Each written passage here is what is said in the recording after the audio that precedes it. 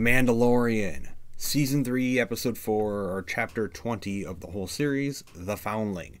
This is another episode that's leaving me feeling very, very weird. Okay, just like last week, it's got me feeling in many different ways right now.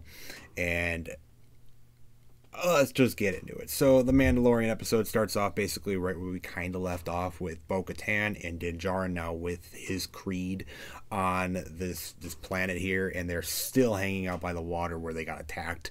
Were these creatures and stuff? It's like, why are you still there? I don't know, but you get to see a bunch of Mandalorians. They're training and whatnot. We get to see Grogu sitting on the ground by the water. Don't know why you would let him sit by the water after what you experienced weird. Um, but either way, he's sitting there by the water playing with the crabs or whatever they are. Uh, and then I see the first most ridiculous thing I've ever seen in this show so far. Um, we we see Grogu fight against a child Mandalorian because he's going to become a Mandalorian now, and he wins in a little like battle duo with like these darts on his wrist. They give him darts, and he uses the force to jump over the kid, jump back, and like shoot him with the like little blaster darts that they're using for practice. And he wins the little duel with the the child Mandalorian. And look, I like the whole look of you know baby Yoda, baby Grogu, whatever. I think it's it could be cute and stuff. I know, I get it. It worked for that. It really, really works for that and it works even when he's using the force because the force is a very mystical thing that doesn't really necessarily it's just different you know what i mean him using the force isn't as weird as this we've seen some movements from grogu this season in particular that's just it's so weird because they're continuing to use a this this puppet okay maybe it's because it's a puppet um, but I think it's also because look, I know they say he's a 50 year old child, obviously, because the you know age very very slowly. I don't really care. This is a this is a baby. This is a baby that is leaping around these child Mandalorians who seemingly seem just so much more developed already because they're obviously aging faster than Grogu is. And he's leaping around and just with ease, you know, beating this child in this little training combat, and this kid, this this, this thing can't even speak a word yet, and he looks like a dead, dead weighted nothing puppet getting thrown around back and forth. it looks fine when he's sitting there and moving around a little bit, but it looks really silly when he's just suddenly doing some crazy action scenes. It it doesn't look good. I don't know if it'll get better, but I'm not liking how it's looking. It looks very, very silly. Um, and we'll see where it goes. But I mean, it, it's interesting to see him do these things. I guess um, I know it's the whole storyline of him becoming a Mandalorian now because he went with Mando and Din Djarin. I get it. That's what they're doing now, but it just looks silly to me. So enough on that. He, you know, he defeats the kid, and then after the kid, the kid he was fighting with, the training with, he gets taken by another creature on the same damn beach. Oh my god, dude. Uh, this is the part of the episode I didn't like. Okay. So the Mandalorians, they're still at the same damn place and they're getting attacked by another damn big creature. And they have to go and fight it and get this Mandalorian kid back because he got taken away from it. It's like a big dinosaur dragon thing. Um, so that's basically the plot of the Mandalorians in the current timeline here. And I say current timeline because we're about to get a different scene, but that's it. They have to go track down this random child uh, that got taken away by another big creature at the same damn place.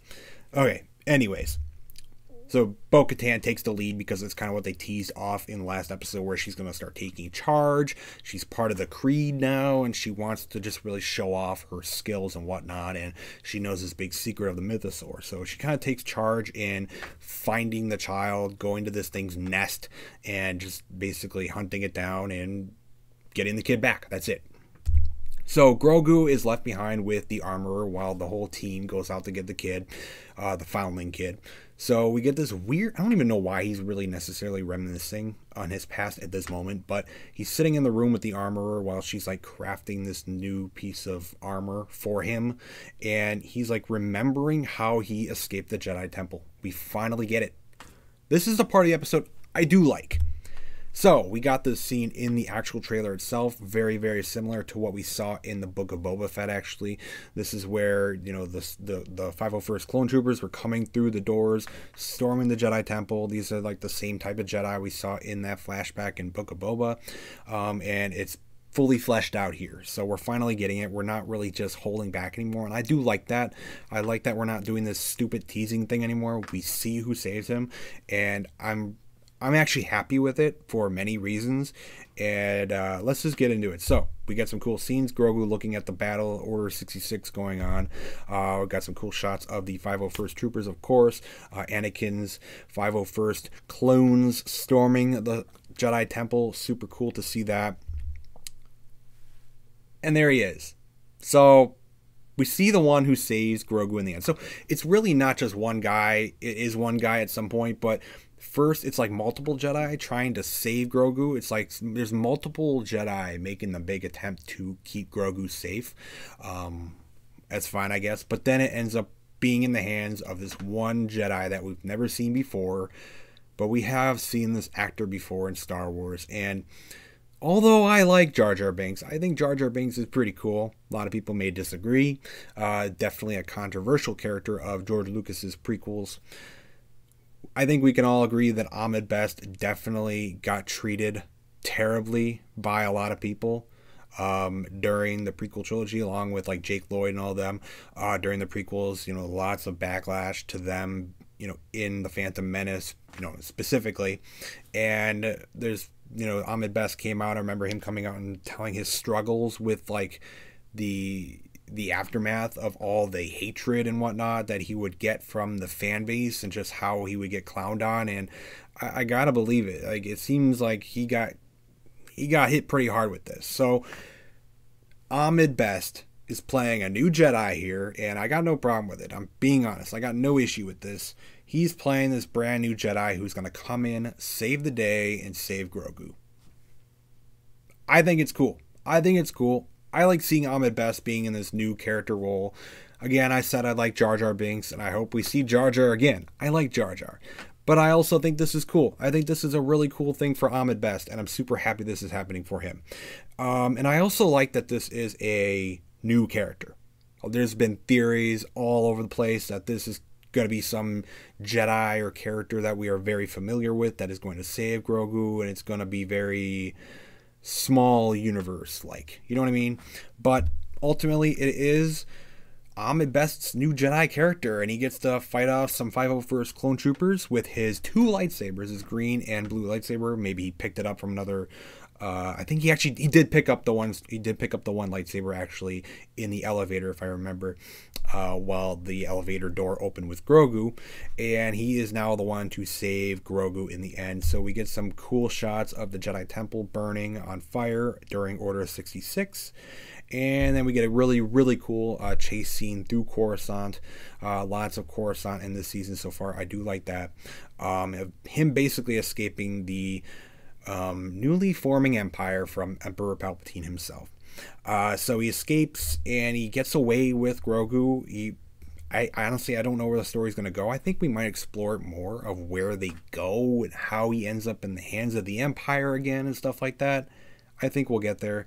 But basically, we get this quick little scene of him escaping, um, finding another ship, and zooming away in hyperspace, and he has escaped the clone troopers for the time being. So, at that moment during Order 66, it is Ahmed Best's new Jedi character that has saved Grogu.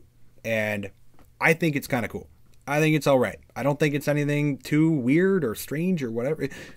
I think it's kind of nice. I, I, like seeing Ahmed Best as a Jedi. I think it's pretty cool.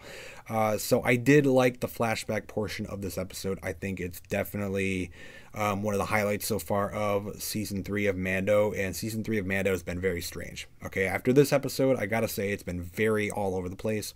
But I do like this this whole sequence, and it doesn't cut away or anything like that. Once we get into the sequence, it goes until it ends.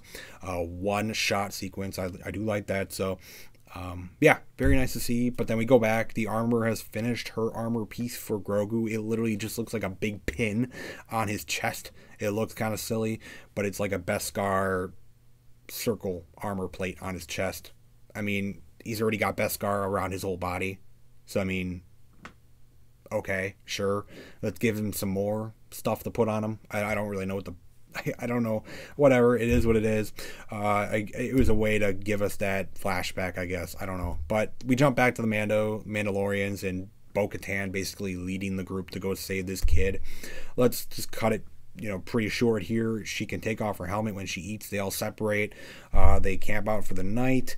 During the day, they go back. They climb up this big mountain to go to the nest of this dragon creature, whatever. Here it is. It's very ugly. And another Star Wars creature causing chaos. Uh, just like in the Bad Batch, just like in this show, there's always some creature for them to fight. Uh, you got some cool Mandalorian action, I will say that. You got some cool Mandalorian action, just like that first episode. Uh, you get to see a bunch of Mandalorians fight and whatnot. I like that. But there's not much to this story, okay? They get the kid back.